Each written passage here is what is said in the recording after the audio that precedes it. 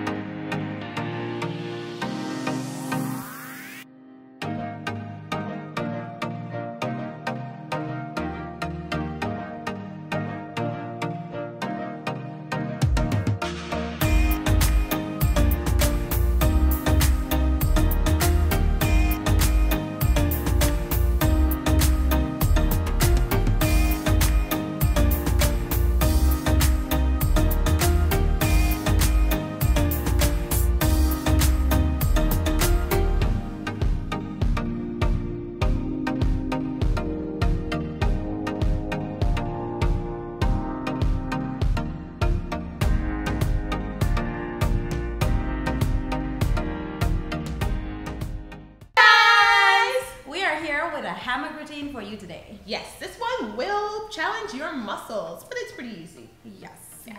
You don't have to worry about flexibility for this routine because we don't use a lot of it, but what we do use is a lot of strength and that is more upper body strength as well. Yes, specifically I'd say like grip strength too, because Yes. with the time that you have to hold the fabric for Oh, can yeah. make it be a little bit more intense. So, you know, if you haven't been training hammock for a little while, maybe have some resin available for that. Yes, and at the start, Taylor said if you love pull-ups and pullovers, but also if you're trying to get better at them, this is also a good routine to challenge yourself and to push yourself to be able to do a choreo that has both pull-ups and pullovers in them. Yes. Okay, so if you're new to this channel, welcome.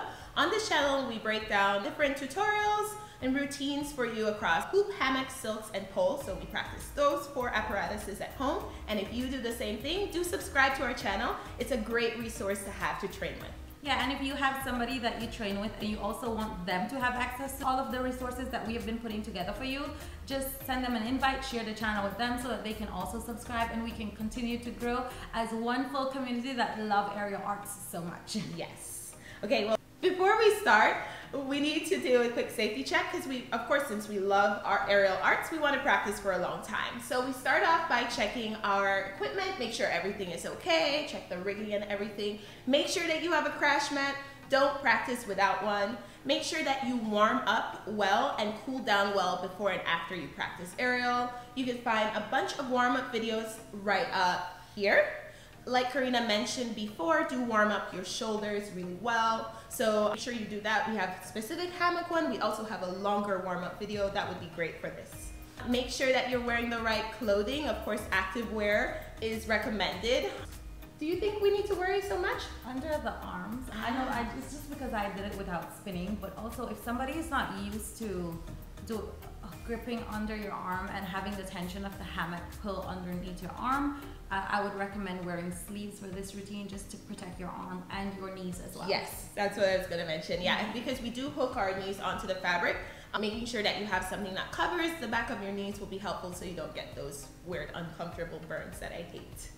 So that's it for clothing and of course make sure that you have your spotting buddy. Make sure you have someone to practice with at home so that you can be safe at all times. They can be your GPS in the air, help you out and if something happens, they're there to assist you or call someone. Okay. And this choreography was designed with a specific song in mind because the things that we do are done at specific times of the music. And unfortunately because of the way YouTube works you can't see it synced up to the music in this video. Instead what we do in this video is we show you the choreography and we break it down for you. But if you want to see this routine done to the music and to see what we had intended for it when we choreographed it then do take a look at the short that we released for you. You can find a link to that right up here. And if you want to see it longer and bigger and better and you also want to get to see both of us do the routine then come back to the channel on friday where we will release a youtube video with both of us doing the routine synced up to the music so you can have a better understanding of what we had intended for it to look like synced up to the music. As always we will leave you a link to the song that we use along with the timing with which we get started down in the description below so that you can do that if you can't wait until Friday and you want to try it before you see it all synced up together. But again, if you can't wait until Friday, then you're also welcome to check out our Instagram profiles. We have links to them down below as well. And we also release the videos there on our Instagram profiles as well. Great. Okay, now that we've covered everything, let's get started. Yay! Hey guys, we're back to break down the hammock routine. And we're gonna start with our starting spin. Before you start the starting spin though, you do need to make sure that your hammock is completely unrolled, kind of free and flowy. Because we're gonna be doing a pose with the hammock open, it's a lot easier if you get this step done now so that you're not trying to unravel your hammock while you're in the air. So once you've done that and your hammock looks completely unknotted, we'll start with our hands up high and then you're gonna put your left foot in the fabric at about your knee. Great. And then you're gonna pivot off of your right leg. Uh, make sure that you're under the rigging point as always so that you don't have a crazy wrecking ball like kind of spin. And then you're going to swing forward, pivoting off of that right leg. So after you've done a few spins, you're gonna go ahead and bring your right foot into the fabric, but you're going to stop so that the fabric is against your ankle and your shin. So do you wanna go? Yes, perfect. Yeah, so it should look like this. When you've done that, you're going to release one hand and you're going to hold on to the outside fabric. From there, you can release your outside hand. You'll be holding up high with your inside hand to do this pose. From here, you can add some grace, you know, you know, pass your hand around you, and then you'll come, you'll turn to face back to the hammock and release that leg that is hooked on both sides. And then you're going to take your free hand and grab the free fabric that's in front. It should create this knot that you see right here. And then once you've had that knot, you'll see that the fabric will also slide up a little higher on your thigh, so it'll be kind of out of the way. Okay, so Karina's gonna show us everything together. So starting with your leg in, spin forward, and then you're going to bring your leg back, leg up, adjust your hands, release, add your grace, and then come back to face the fabric, grab both poles with the cross. Thank you, Karina. Are you ready, Karina? Are you ready for the pull up? Okay, so so we're starting from the from the the fabric crossed in front of you. We're going to be doing a pull up. So you're to pull the fabric apart from each other and then at the same time you're to pull yourself up. When you pull your legs up, your legs should be stacked like this and you're looking up. Yep. And then from there you're to pull yourself over into this ball position. You look, your knees are going to be parallel with the fabric and also the, your shins. And then from there, you can slowly bring yourself down, making sure that the fabric lands at your hip. Perfect. Yep.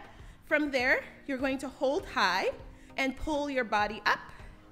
Turn around so one fabric is across your back, under your armpit, and you're going to be pushing with your left hand. Great. From there, you're to hold your free leg behind you to make this pretty stag shape that you see here. Awesome. Can we continue? Okay. From this stag position, you're going to release your hands and you're to hold on on each side of the fabric, bring your knees together, pull yourself up, and then you're going to hook yourself, your knees on the free fabric. So not the fabric that has the wrap, the free one. And then you'll have a bunch of fabric on the side here that will be quite open. And that's what you're going to make the shape with. So then you're going to use your inside leg. So that will be your lower leg. You're gonna use that to push the fabric away by straightening it in front of you. Yes, perfect. I'm gonna go ahead and spin you so I can get a better shape here. And your shape should look something like this. And make sure that you keep your legs as straight as you can and bend that other leg that is hooked on the other pole. Yeah, and then from there you can release your leg, yes, from the fabric that's open. So just bring it back and you'll have both legs hooked. You can make shaped with your shapes with your hands from here. And then when you're ready, you hold on to the free part of the fabric, release your legs from, uh, well, unhook your knees and come back down. And that's the end. Thank you, Karina, for doing this two times because I forgot to press record the first time. You're the best.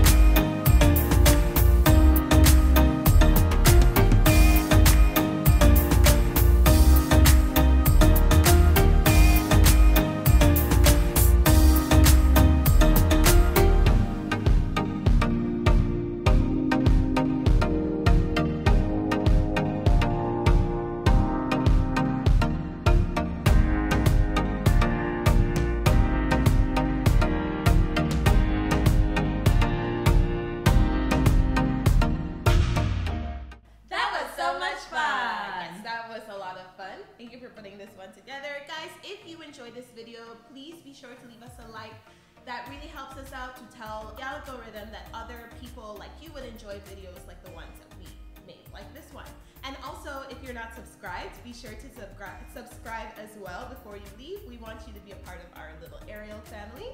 And Yes, and if this routine was a little bit too strength intensive for you and you want something that's that works your muscle a little bit less, but you can focus on grace and you know pretty poses and spinning and all of this. We're leaving a video on screen for you. Do give this one a try. It's a really beautiful routine and I'm sure you will enjoy it. okay, until next time. Bye!